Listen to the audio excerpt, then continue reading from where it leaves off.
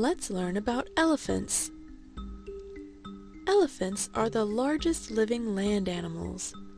Although giraffes are taller than elephants, elephants are much, much heavier. The largest elephant ever recorded was an African elephant that weighed 27,000 pounds or 13.5 tons and measured more than 13 and a half feet or 4.1 meters tall. Elephants are mammals. They may not look very furry, but like all mammals, elephants grow at least a little hair. They are warm-blooded, and they feed their babies milk. Elephants are herbivores, eating leaves, fruit, twigs, bark, grass, and roots. They can consume up to 500 pounds or 225 kilograms of vegetation per day. Because of this, elephants spend almost all day eating.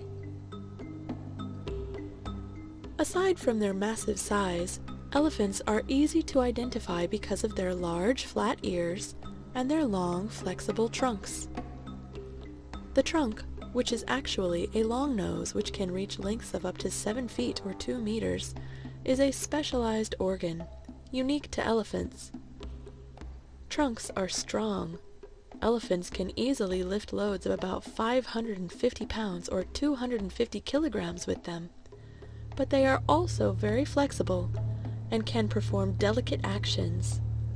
An elephant can even pick up a coin from a flat surface using its trunk. Elephants can also suck water up into their trunk, but they do not drink it there.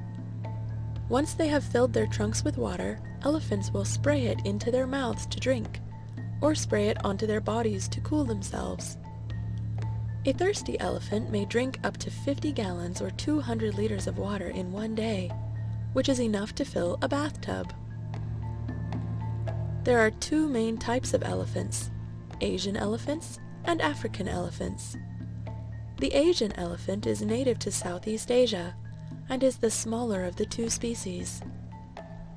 They can be recognized by their smaller ears and by the fact that the females and even some males do not have tusks. Asian elephants live in grasslands, forests, and scrublands. The African elephant is the larger of the two species and can be recognized by its oversized ears and prominent tusks on both males and females. They can be found distributed through most of Africa, in forests, woodlands, scrub, or desert. Elephants are endangered, and there are a few different reasons why. First, elephants are often hunted for their ivory tusks, which can be sold around the world, as well as for their meat and skins. Although there are now laws in place to stop elephants being killed for their tusks, many elephants every year are still killed by illegal hunters or poachers. Elephants can also be killed if they come too close to human settlements, damaging fences, crops, or buildings. Finally, elephants are at risk because their habitats are being destroyed. Because they are so large, elephants need vast expanses of land to live and find food in.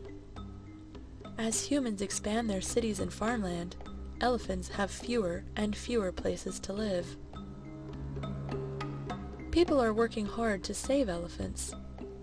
Laws that ban the sale of ivory help to save many elephants and people are trying hard to learn how to live peacefully with these giant mammals.